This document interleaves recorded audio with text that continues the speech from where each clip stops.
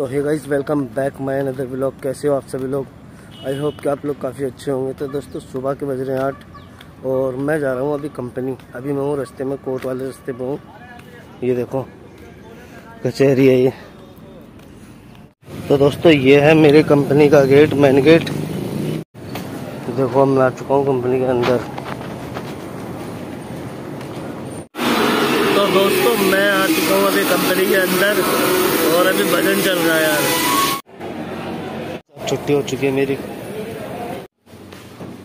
तो गाइस ये रहा मेरा बैग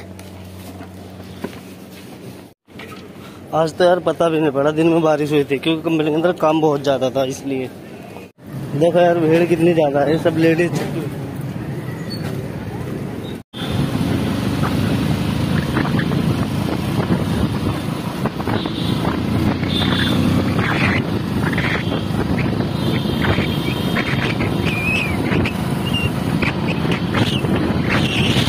छुट्टी, अब मैं पॉपकॉर्न लेने जा रहा हूँ। कैसे पॉपकॉर्न दे देना।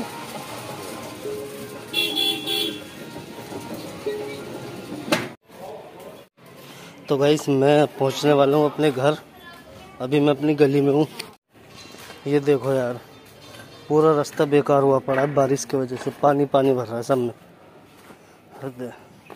तो फाइनली दोस्तों, मैं घर पहुँच चुका हूँ। बोलियो